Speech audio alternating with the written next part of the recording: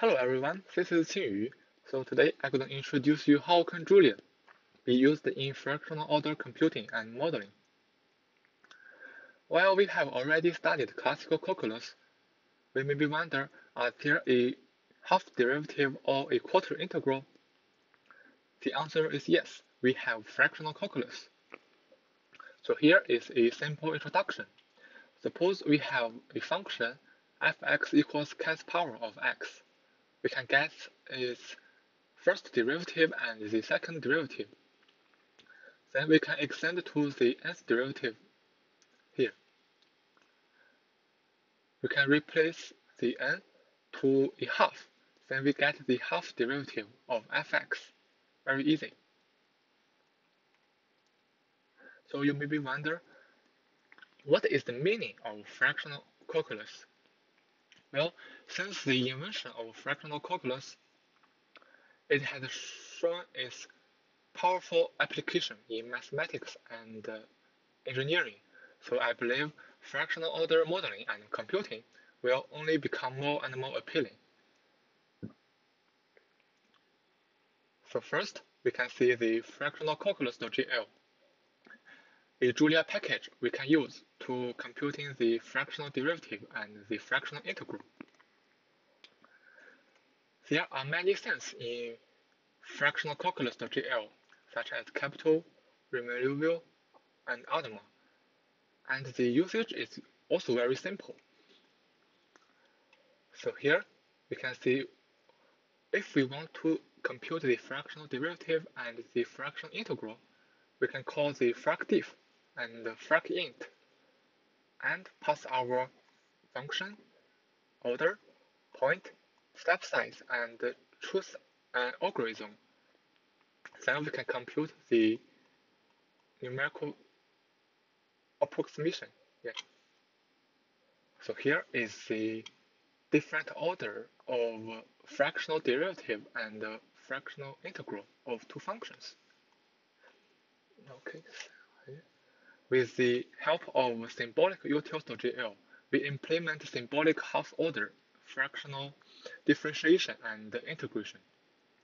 While it is still in test periods, but I think it will help researchers a lot. So next, we can see the FractionalDiffEq.jl. Here is, here is the problem overview.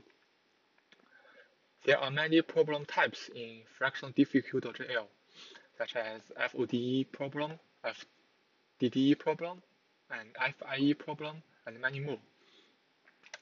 So here, first we can see the fractional ordinary differential equations. Generally speaking, we can divide the FODE to two classes. The first is the single term FODE. There, there is only one fractional differential operator in my equation. To solve the problem, we need to, so here we can see the example here. To solve the problem, we need to construct our problem, the single term FOD problem, and the and the pass and the pass the function here, the order, the initial condition, and the time span.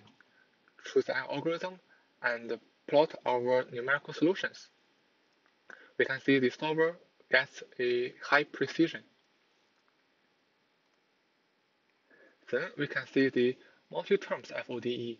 There are many fractional differential operators in one equation. So we construct our problem using multi-term FODE problem and pass the parameters, orders, the right hand function, and time span. So here. Then we solve our problem and plot our solution. So next, we can see the system of fractional differential equations. It's, it's very easy to solve the system of FED, FDE, but what amazed me the most here must be the enhancement of solvers from MATLAB code to Julia code. In MATLAB, we need to use almost 20 minutes to complete the trial system simulation. but in FractionalDiffEq.jl, we, only we only use 8 minutes to complete the simulation. So I believe there will be more enhancement in the future about, about the solvers in FractionalDiffEq.jl. So, uh, and here is the fractional order chaotic systems. Very beautiful. Then we can see the fractional partial differential equations. Okay, the FPDE solvers in, in FractionalDiffEq.jl is relatively little and mainly focus on diffusion and advection of fractional orders. So I think this will be the main focus in the near future. Then we can see the fractional delay differential equations. Similar with what we had said before, we construct our problem using FDD problem and pass the function, the history function, the order, the time delay, and the time span. Choose an algorithm, then plot our solution here. Oh, also, and the system of FDDE. They are very similar. Construct our problem, solve our problem, and, pro and plot our numerical solution here. Then we can see the distributed order differential equations. Here, the distributed order is the orders of differentiation and integration is no longer integer or fractions, but weight function of distribution of alpha. Of here is the order. The mathematical definition is here.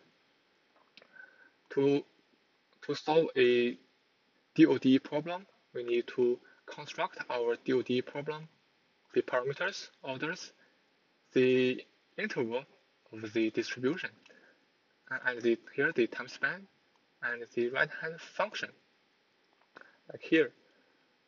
Then we choose a solver and plot our solution here. So then we can see the fractional integral equations. With the help of approxfun.jl, FractionalDiffEq.jl is able to solve fractional integral equations. So like the example here, we construct our problem using FIE problem and pass the parameters, the orders, the function, and solve our problem. Then we can plot our numerical solution here. So next, we can see the Mittag-Leffler functions.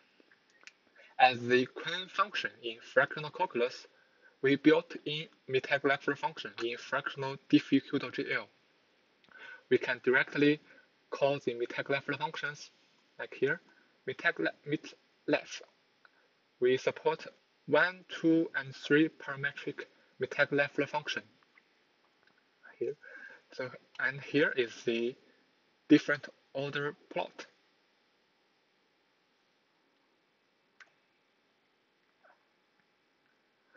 As young packages, there are still some imperfects in these, in these packages, uh, such as the design pattern, the performance, and the documents. So I think there, there are still a lot of works we need to do in the future.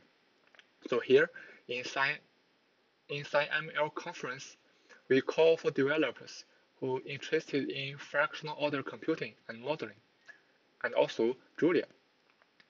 To join us, we can build great fractional order computing and model and modeling packages together. So that's all. Thank you.